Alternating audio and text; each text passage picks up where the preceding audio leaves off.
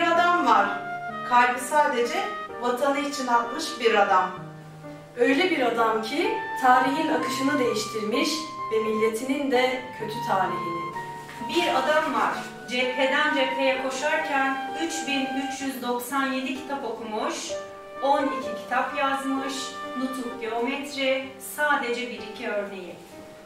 Öyle bir adam ki dünyada baş öğretmen sıfatlı tek lider. O dil bilimci, tarihçi. O antropolog, sosyolog. O yazar, matematikçi. O asker ve devlet adamı.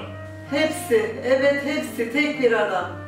Hayatta en hakiki mürşit ilimdir, fendir diyerek ülkesine aydınlık yarınları müjdelemiş. Öyle bir adam ki küllerinden doğurmuş memleketi.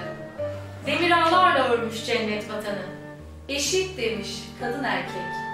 Kabul etmiş medeni kanunu. Yeni harflerle öğretmiş okumayı yazmayı. Bir adam var ki unutulmayacak. Türkiye Cumhuriyeti gibi büyük bir eser bırakmış. Bir çocuk, bir komutan, bir öğretmen, bir lider düşünün. Vatanı için her şeyi yapan o mavi gözlü adam benim yüce atam. Adımların adımımız, emanetin emanetimizdir.